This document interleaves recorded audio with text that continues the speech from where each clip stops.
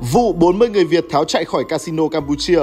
tạm giam quản lý người Trung Quốc. Bạn đang xem kênh youtube chính thức của báo Vietnamnet.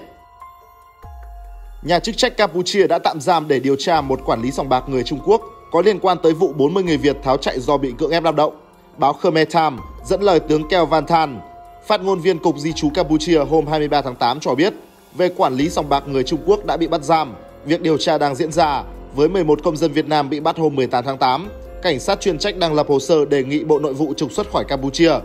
Ngày 18 tháng 8, 40 người Việt, bao gồm 35 nam và 5 nữ, bị cảnh sát biên phòng An Giang bắt giữ sau khi bơi qua sông Bình Di để nhập cảnh trái phép vào Việt Nam. Những người này khai họ trốn khỏi một casino ở ấp Traythom do bị ép làm việc liên tục mà không được trả lương. Các nạn nhân cho hay họ bị lừa sang Campuchia để làm việc với lời hứa việc nhẹ lương cao. Tuy nhiên, sau đó, hàng ngày họ đều bị ép lên mạng lừa nhiều người nạp tiền vào các tài khoản online để đánh bạc. Cho Buneng, Quốc vụ Khanh Bộ Nội vụ Campuchia, kiêm Phó Chủ tịch Thường trực Ủy ban Quốc gia chống buôn người NCCT cho biết cảnh sát vẫn đang điều tra vụ việc, nhưng bà vẫn chưa nhận được thông tin cụ thể nào về việc những gì xảy ra có liên quan tới vấn nạn buôn người hay lừa đảo hay không. Trong khi đó, Moin Tula, Giám đốc điều hành Trung tâm Lao động và Nhân quyền cho biết ông không nghiên cứu sâu về vụ việc, song nó không khác gì vụ việc xảy ra ở tỉnh Pri Sihanouk ngày 18 tháng 8, một quản lý casino người Trung Quốc và 11 lao động người Việt đã bị Cục Di trú Campuchia bắt giữ do có liên quan tới 45 lao động và một người Việt thiệt mạng khi chạy trốn khỏi casino Golden Phoenix.